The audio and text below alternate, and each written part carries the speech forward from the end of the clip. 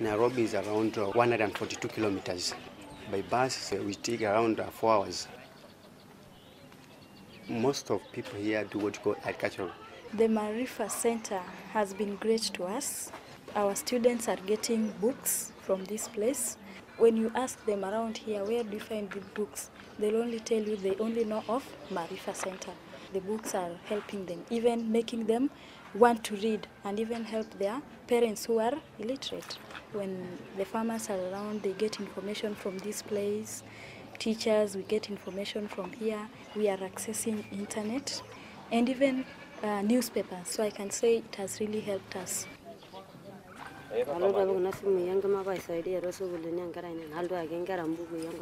Enaaji.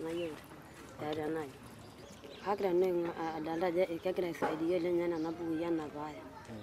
Amu ore enari ilepita inkera naa ketii nene mpaka dukuya oleng. Naa mm. kadolta nanu ajo kipang'ita ninye tesukuul oshi natii Akingoru ai mm. sukuul napikita.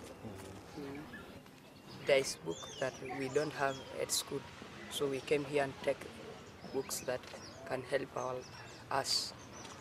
We need storybooks and books of subject like English and Swahili and science. We lack so many things in the center. For example, the normal academic books for the small children.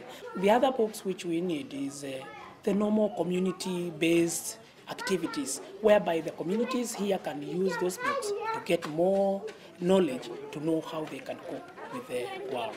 The center, we can say, is a sort of a light to the community and even to the whole district.